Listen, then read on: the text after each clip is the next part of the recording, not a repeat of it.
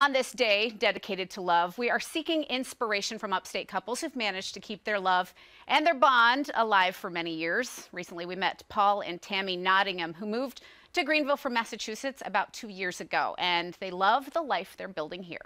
We were both sergeants in the Army. Uh, we actually met in South Korea in a duty station.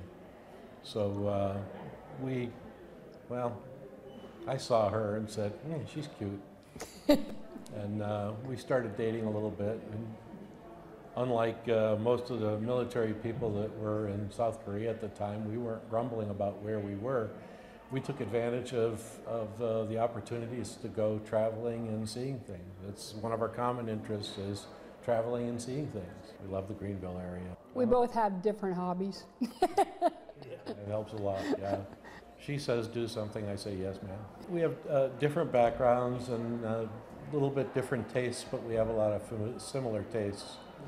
Uh, I, I'm into computers and electronics and fix-it stuff, and she's a crochetaholic.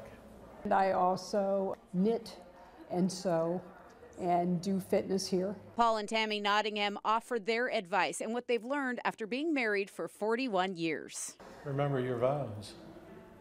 Uh, marriage is not a is not a cakewalk. Uh, love is work. You have to work at it constantly. We're active churchgoers. I have a lot of good memories. I, I'm very proud of my children. Uh, it meant a lot to me to be a good wife and a good mother. That meant a lot to me. I've had jobs, I've worked all kinds of jobs, but my first job was those two things. Um, make your spouse your priority, take care of them, um, treat every day as a gift. And every day for us has been a gift.